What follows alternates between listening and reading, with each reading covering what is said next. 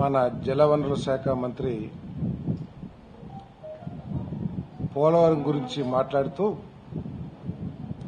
సంబంధం లేని అనేక విషయాల గురించి కూడా అంటే పోలవరానికి సంబంధం లేని విషయాలు సబ్జెక్ట్ని డైవర్ట్ చేయడం కోసం ప్రజల్ని మభ్యపెట్టడం కోసం ఇష్టం వచ్చినట్టు మాట్లాడాడు. ఆయన లేవనెత్తిన ప్రశ్నలకి సమాధానం చెప్పే ముందు మిత్రుణ్ణి ఒక చిన్న ప్రశ్న అడుగుతా ఉన్నా నేను. ఎందుకంటే ఇటీవల తెలంగాణ ముఖ్యమంత్రి విజయవాడ వచ్చినప్పుడు వంగి వంగి దన్నాలు పెడుతూ కారులో ఆయనతోనే తిరిగాడని చెప్పేసి పత్రికలు చూశాం. ఇదే ముఖ్యమంత్రి గారు పబ్లిక్గా పత్రికా ముఖంగా మీడియా ముఖంగా దేవినేని ఉమా ఆడో మగో తెలియదు అని చెప్పేసి కామెంట్ చేయటం మనందరం కూడా స్పష్టంగా చూశాం. ఈరోజు పత్ర పత్రికా ముఖంగా అడిగేది ఏమిటంటే కేసీఆర్ గారు లేవనెత్తిన ప్రశ్నకి పబ్లిక్గా సమాధానం చెప్పి క్లారిఫై చేయమని చెప్పేసి అడుగుతా ఉన్నాం. కనీసం కేసీఆర్ గారి కన్నా కారులో కూర్చున్నప్పుడు ఆ సమాధానం మీద ఆ ప్రశ్న మీద సమాధానం చెప్పి ఆయన సంతృప్తి పరిచింది లేని కూడా అడుగుతా ఉన్నాం. లేకపోతే వీళ్ళు తెలుగుదేశం మంత్రులకి ఇంకేం పని లేదు వాళ్ళకి సబ్జెక్ట్ తెలియదు తేలుకుట్టిన దొంగల్లాగా ఏ విషయం మాట్లాడాలన్నా కూడా జగన్ గారి కేసులు ఫోర్ ట్వంటీ ఇటువంటి సంబంధం లేని విషయాలు పదే పదే అదే విషయాల్ని మాట్లాడుతూ ప్రెస్ మీట్లో సగం సమయాన్ని దీనికే కేటాయిస్తూ డొల్లతనాన్ని బయటపెట్టుకుంటా ఉన్నారు.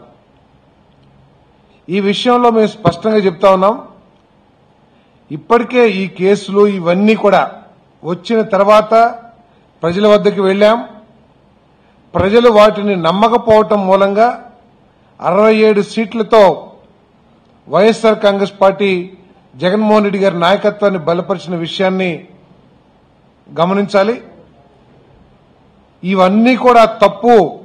ఏదైతే ప్రభుత్వం చంద్రబాబు నాయుడు సోనియా గాంధీ కలిసి జగన్ గారిని ఇరికిస్తానికి ప్రయత్నం చేసిన ఈ కేసులన్నీ కూడా తప్పు. ఆ విషయాలన్నీ కూడా తప్పు అని చెప్పేసి వ్రాతపూర్వకంగా సబ్మిషన్ చేశాం కోర్టుకి చేశారు. కావాలంటే మీరు అక్కడ తెలుసుకోవచ్చు ఇక మిగతా విషయాలు కోర్టే చెప్తుంది.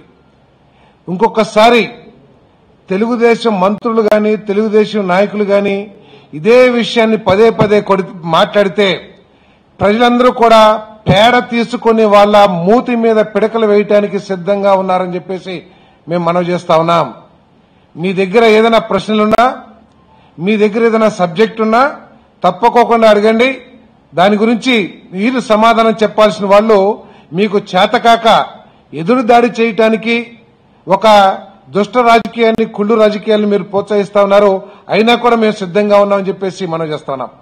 ఈరోజు మాట్లాడుతూ ఉన్నాడు పోలవరం ప్రాజెక్టు పేరెత్తే నైతిక అర్హత జగన్ గారికి లేదు అని చెప్పేసి.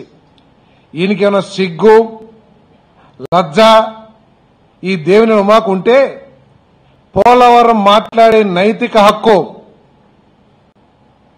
రాజశేఖర రెడ్డి గారి ఆలోచనల సిద్ధాంతంగా తీసుకుని ఏర్పడిన YSR Congress party YSR Congress party నాయకుడు జగన్ గారికే ఉంది అని చెప్పేసి స్పష్టంగా తెలియజేస్తా ఉన్నాం. కొన్ని దశాబ్దాల నుంచి శతాబ్దాల నుంచి పోలవరం గురించి ఈ రాష్ట్ర నాయకులు రాష్ట్ర ప్రజలు రాజకీయ పార్టీలు మాట్లాడినా కూడా దాన్ని నిజాం చేసింది కేవలం రాజశేఖర రెడ్డి గారు అనే విషయాన్ని ఈ రాష్ట్రంలో ప్రతి ఒక్కరు కూడా గుర్తించిన విషయం అని చెప్పేసి కూడా ఈ సిగ్గుమాలిన జలవనరుల శాఖ మంత్రి దేవిని ఉమా మహేశ్వరికి తెలియజేస్తామని చెప్పేసి మనం చేస్తున్నాను ఇంకే ఎక్కువ మాట్లాడితే మీకు తెలుగుదేశం పార్టీకి తెలుగుదేశం నాయకులకి పోలవరం గురించి మాట్లాడే నైతిక అర్హత లేదని చెప్పేసి చాలా స్పష్టంగా తెలియజేస్తా ఉన్నాం. దానికి కారణం ఏమిటంటే చంద్రబాబు నాయుడు గారు తొమ్మిది సంవత్సరాల అధికారంలో ఉన్నప్పుడు రాష్ట్రం అంతా కూడా కరువుతో అల్లలాడుతున్న పరిస్థితుల్లో దాదాపు మూడు వేల టీఎంసీల నీరు గోదావరి నదిలో నుంచి వృధాగా సముద్రంలోకి వెళుతున్నా కూడా కనీసం ఆ ప్రాజెక్టు కట్టాలనే ఆలోచన కూడా చేయని దౌర్భాగ్య నాయకత్వం ఈ తెలుగుదేశం పార్టీది. కేవలం రాజశేఖర రెడ్డి గారి ధైర్యంతో కేంద్రం నుంచి నిధులు వచ్చినా రాకపోయినా అన్ని పర్మిషన్లు సాధించి దానికి పునాది వేసి పనులు ప్రారంభించారు కాబట్టి పోలవరం గురించి మాట్లాడే నైతిక హక్కు ఎవరికైనా ఉందంటే అది వైఎస్ఆర్ వారసులకి వైఎస్ఆర్ కాంగ్రెస్ పార్టీకి జగన్మోహన్ రెడ్డి గారికి ఉందని చెప్పేసి కూడా మీకు మనం చేస్తా ఉన్నాను. ఈరోజు చంకలు కొట్టుకున్న దేవినేని ఉమామహేశ్వరరావు నీకు ఏమన్నా సిగ్గుంటే నువ్వు గతం గురించి ఆలోచించగలిగితే నేను సూటిగా ప్రశ్నిస్తా ఉన్నా నేను.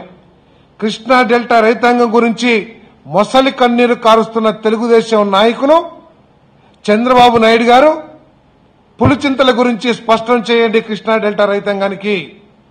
తొంభై ఆరు ఏప్రిల్లో CWC central water commission Pulichintala ప్రాజెక్టుకి పర్మిషన్ ఇస్తే రెండు వేల మూడు వరకు టెండర్లు ఎందుకు పిలవలేదో చంద్రబాబు నాయుడు గారు అదేవిధంగా ఈ జలవనరుల శాఖ మంత్రి దేవి ఉమామేశ్వరరావు సిగ్గుంటే స్ట్రైట్గా తనకి దమ్ముంటే స్ట్రైట్గా సమాధానం చెప్పమని చెప్పేసి నేను అడుగుతా ఉన్నాను. ఏప్రిల్ పంతొమ్మిది వందల తొంభై ఆరులో CWC central water commission Pulichintala నిర్మాణానికి పర్మిషన్ ఇస్తే దాదాపు ఏడు సంవత్సరాలు కనీసం టెండర్ కూడా పిలువకోకుండా ఎందుకు కృష్ణా డెల్టా రైతాంగం నోట్లో మట్టి కొట్టారో స్పష్టంగా సిగ్గున్న దమ్మున్న సమాధానం చెప్పమని చెప్పేసి అడుగుతా ఉన్నాం. ఈ రోజు ఏదో పోలవరం కంటే ముందు పట్టుసీమ కొట్టామని కట్టామని చెప్పేసి శంకలు కొట్టుకుంటున్న దేవుని ఉమామేశ్వరరావు నిజంగా నీకు కృష్ణా డెల్టా రైతాంగం మీద ఏమాత్రం ప్రేమున్నా కూడా పులిచింతల ప్రాజెక్టు పూర్తయిపోయి కేవలం రిహాబిలిటేషన్ కోసం తెలంగాణ ప్రభుత్వానికి నూట యాభై కోట్ల రూపాయలు చెల్లించినట్లయితే దాదాపు నలభై ఐదు నలభై ఆరు టీఎంసీలు నిల్వ చేసుకుని కృష్ణా డెల్టానికి రైతాంగానికి సాగునీరు సరఫరా చేసే పరిస్థితి ఉంటే అంటే మీరు అధికారంలోకి వచ్చిన నెల రోజులకే మీరు గనక ఈ చర్య తీసుకుంటే నూట యాభై రూపాయలు కట్టుంటే పులిచింతల ద్వారా కృష్ణా డెల్టా రైతాంగానికి మేలు జరిగేదనేది వాస్తవా కాదా? స్పష్టం చేయమని చెప్పేసి అడుగుతా ఉన్నాం. కేవలం ప్రభుత్వానికి చెల్లించే నూట యాభై కోట్ల రూపాయలు తెలంగాణ ప్రభుత్వానికి చెల్లించే నూట యాభై కోట్ల రూపాయల్లో నీకు ముడుపులు రావని మీ ముఖ్యమంత్రికి జేబులు నిండవని నువ్వు పులిచింతల్ని పక్కన పెట్టిన విషయం వాస్తవా కాదని చెప్పేసి నేను అడుగుతా ఉన్నా నేను. పోలవరం ప్రాజెక్టు తొమ్మిది వందల ఎనభై మెగావాట్లు ఏదో అంటాడు. వాడికి అసలు తలా తోక ఏమీ ఉండదు. ఎవరో రాసిస్తారో దాన్ని బట్టి కొడతారు రాత్రిపూట దాన్ని వచ్చి అప్పచెప్పేస్తాడు మళ్ళీ విలేకరులు ఏమైనా అడుగుతాడని చెప్పేసి తోక ముడిసి లోపలికి పరిగెడతాడు. ఇది దేవిన ఉమామేశ్వర గారు తంతు. నేను అడుగుతా ఉన్నాను పవర్ ప్లాంట్కి ఇరిగేషన్ డిపార్ట్మెంట్కి సంబంధం ఉందా? శ్రీశైలం కానీ నాగార్జున సాగర్ కానీ ఏ ఇరిగేషన్ ప్రాజెక్టులు అయినా సరే పవర్ ప్లాంట్ని జెన్కో కడుతున్న విషయం వాస్తవా కాదా? ఆనాటి ప్రభుత్వాలు ఒకవేళ పవర్ ప్లాంట్ని సపరేట్ చేసో లేకపోతే పోలవరంలో కలిపో ఎటువంటి నిర్ణయం తీసుకున్న జగన్మోహన్ రెడ్డి గారికి సంబంధం ఏంటి దేవినేని ఉమామేశ్వరరావు నీ చేతకానితనాన్ని కప్పిపుచ్చుకుంటానికి నువ్వు చేసే బ్రోకరిజాన్ని కప్పిపుచ్చుకోవటానికి నువ్వు ఈ విధంగా జగన్మోహన్ రెడ్డి గారి మీద ఏదో మాట్లాడి ఏదో చంద్రబాబుని ఉమాని తిడుతున్నాడు ఈ ఉమా గురించి వీడిని తిడితే ఈ- ఏదో పెద్ద లాభం వస్తుందని చెప్పేసి భావిస్తున్నాడు. నువ్వు నీ స్థాయి ఏంటో మరిచి చాలా ఎక్కువ ఊహించుకుంటున్నావు దేవుడు మామేశ్వరరావు జగన్మోహన్ రెడ్డి గారికి తొమ్మిది వందల ఎనభై మెగావాట్ల పవర్ ప్లాంట్కి సంబంధం ఏంటో నువ్వు మా శాఖ మంత్రిగా ఉన్నావు. ఆధారాలతో సహా చూపించమని చెప్పేసి నేను ఛాలెంజ్ చేస్తా ఉన్నా నేను. అంతేకాదు మాట్లాడితే ధనయజ్ఞం ధనయజ్ఞం అని చెప్పేసి జలయజ్ఞాన్ని చెప్తున్నావు కదా అన్ని ఫైల్స్ కూడా నీ దగ్గరే ఉన్నాయి. నువ్వు ఆ శాఖని నిర్వహిస్తా ఉన్నావు. ఎక్కడైనా సరే మీరు ఈరోజు దోస్తున్న విధంగా ఏంటి ఎస్టిమేట్ని ఇష్టం వచ్చిన రీతిలో నువ్వు పెంచేసుకుని నీ సొంత కాంట్రాక్టర్లకి నామినేషన్ పద్ధతులు ఇస్తున్న తీరులో ఎక్కడైనా సరే ఎస్టిమేషన్లో కానీ దేంట్లో అయినా సరే ఎక్కడ తప్పులుంటే ఎందుకు నువ్వు బయట పెట్టి ఇదిగో ఈ ప్రాజెక్ట్లో చంద్ర మన రాజశేఖర రెడ్డి గారు ఎస్టిమేషన్ పెంచారని చెప్పేసి ఈ రాష్ట్ర ప్రజలకి చూపించే ధైర్యం చేయలేకపోతున్నావు ఒక్కసారి స్పష్టం చేయమని చెప్పేసి కూడా అడుగుతా ఉన్నాను. ఇక నుంచి నోరు మూసుకుని నీకు సిగ్గు ఎగ్గు ఉంటే నవరంధ్రాలు మూసుకుని నీ బాధ్యతలు నీకు ప్రజలు అప్పగించిన బాధ్యతల్ని నిర్వర్తించు. రైతాంగానికి మేలు జరిగే విధంగా పరిపాలన గాని చేయమని చెప్పేసి ఈ సందర్భంగా తెలియజేస్తా ఉన్నాను అంతేకాదు పోలవరం ఎంత సిగ్గు చేయటండి డయాఫ్రమ్ వాల్ ఎందుకు కడతారు డయాఫ్రమ్ వాల్? మనం ప్రాజెక్ట్ని కడితే కింద నుంచి సీపేజ్ ద్వారా నీళ్ళు నదిలో నీళ్ళు కింద నుంచి వెళ్ళకూడదని చెప్పేసి కొంత లోతు వరకు డయాఫ్రమ్ వాల్ని భూగర్భంలో అంటే నదీ గర్భంలో నుంచి వెళ్ళే నీటిని ఆపుతానికి డయాఫ్రమ్ వాల్ కడతారు. ఫోర్ ట్వంటీ అని ఎప్పుడు మాట్లాడుతూ ఉంటారు. ఇంతకంటే ఫోర్ ట్వంటీ ఏమైనా ఉంటుందా? ఎప్పుడు మనం జాతికి అంకితం చేస్తామంటే ఒక ప్రాజెక్ట్ని ఆ ప్రాజెక్టు పూర్తి చేసి దాని ద్వారా ప్రతిఫలాలు ఫలాలు అందుకునే పరిస్థితుల్లో ఆ ప్రాజెక్ట్ని మనం జాతికి అంకితం చేస్తాం. అది ఇది అనవాయితీ ఇది ధర్మం. ఇది రాజ్యాంగం. అంతేకాని డయాఫ్రమ్ వాళ్ళు వేసేసి జాతికి అంకితం చేసిన ముఖ్యమంత్రి ఈ ప్రపంచంలో ఎవరు ఉన్నారంటే చంద్రబాబు నాయుడు తప్ప ఈ ప్రపంచంలో ఇంకెక్కడైనా ఏ ప్రజాప్రతినిధి ఉన్నాడా అని చెప్పేసి నేను ప్రశ్నిస్తా ఉన్నాను. అంటే ఇది ఎట్లా ఉందంటే ఫౌండేషన్ వేయంగానే చుట్టాలందరినీ పిలిచి మన గృహప్రవేశం ఒకసారి చేస్తాం. గోడలు కట్టేసి ఒకసారి గృహప్రవేశం చేస్తాం. దర్వాజాలు పెట్టి ఒకసారి గృహప్రవేశం చేస్తాం. ఆఖరికి కప్పు వేయకోకుండా దాని మధ్యలో వదిలేసి దాన్ని ఎక్కడ అమ్ముపోతామో లేకపోతే ఏదో చేస్తాం చేస్తాం. అటువంటి తీరు ఈ ప్రభుత్వం అని చెప్పేసి మనం చేస్తాను నేను ఇప్పటికీ ఛాలెంజ్ చేస్తా ఉన్నాను. నువ్వు అధికారంలోకి రాగానే రెండు వేల పదిహేడు కల్లా పోలవరం నుంచి నీరు ఇస్తాను అని చెప్పేసి గొప్పలు చెప్పుకున్నావు. అది పోయింది. రెండు వేల పద్దెనిమిదికి పూర్తి చేస్తానని చెప్పేసి మీ ముఖ్యమంత్రి మీ ప్రభుత్వం అందరూ కూడా డబ్బాలు కొట్టారు. అది రెండు వేల పద్దెనిమిది కూడా పూర్తయిపోతా ఉంది. రెండు వేల పంతొమ్మిదికి కూడా ఛాలెంజ్ చేస్తా ఉన్నా నేను. నీకేమైనా దమ్ముంటే కృష్ణా జలాలు తాగి ఉన్న మనిషివైనట్లయితే నువ్వు రెండు వేల పంతొమ్మిదికి రిహాబిలిటేషన్తో సహా పూర్తిగా ప్రాజెక్ట్ని పూర్తి చేసినట్లయితే నేను రాజకీయాల నుంచి తప్పుకుంటాను పూర్తి చేయలేకపోతే నీకు కృష్ణా జిల్లా పౌరుషం ఉంటే నువ్వు రాజకీయాల నుంచి తప్పుకుంటానికి సిద్ధమా అని చెప్పేసి నేను దేవుని ఉమామేశ్వరాన్ని ఈ సందర్భంగా ఛాలెంజ్ చేస్తానని చెప్పేసి మనం చేస్తాను ఎంతసేపు సొల్లు ఎంతసేపు పెట్టలు దొరకమెళ్ళే ఏదో మాట్లాడతాం వెళ్ళిపోవటం. నీకు సిగ్గేనేది ఉంటే నువ్వు తినేది కృష్ణా జిల్లా రైతాంగం పండించిన కష్టపడి పండించిన అన్నం అయినట్లయితే ఈ రోజు కృష్ణా జిల్లాలో నువ్వు పట్టిసీమ ద్వారా నీళ్ళు ఇచ్చానని చెప్పేసి గొప్పగా చెప్పుకుంటున్నావు.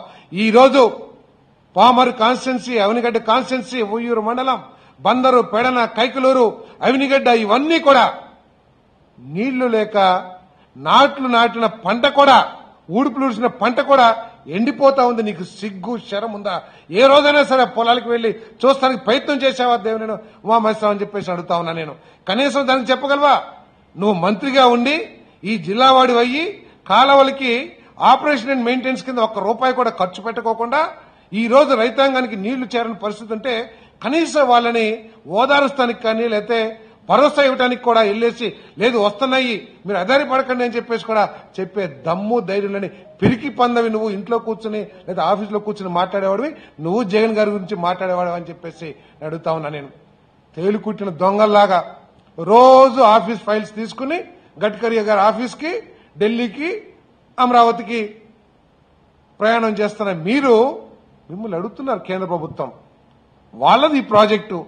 అత్తస్వం మల్లుడు దానం చేసినట్లు కేంద్రం నిర్మించాల్సిన ప్రభుత్వ ప్రాజెక్ట్ని మీరు స్వార్థంతో ముడుపుల కోసం తీసుకుని ఈ రోజు లెక్కలు చెప్పలేక ఫైళ్ళు మోయలేక అధికారులందరూ కూడా మరి కష్టపడుతున్న విషయాన్ని ప్రజలందరూ కూడా చూస్తా ఉన్నారు.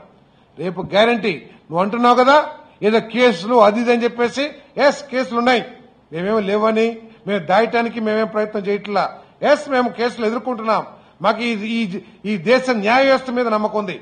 నీకు గనక సిగ్గుంటే నీ పరిపాలన మీద కానీ నీ నాయకుడి మీద కానీ నమ్మకం ఉంటే ఈరోజు నీ మీద కానీ నీ ప్రభుత్వం మీద కానీ నీ నాయకుడి మీద కానీ వచ్చిన ఆరోపణల మీద సిబిఐ ఎంక్వైరీ వేయడానికి సిద్ధంగా ఉన్నదా ఈ చంద్రబాబు నాయుడు ప్రభుత్వం అని చెప్పేసి ఛాలెంజ్ చేస్తా ఉన్నా నేను. ఒకవేళ మీరు నీతిమంతంగా పరిపాలన చేస్తున్నాం ప్రాజెక్టులో ఎక్కడా కూడా ఏమి అవినీతి లేదు పారదర్శకంగా మేము ప్రాజెక్టులు నిర్మిస్తున్నాం అని చెప్పేసి ధైర్యం నీకున్నట్లయితే వెంటనే సిబిఐ ఎంక్వైరీ వేయండి.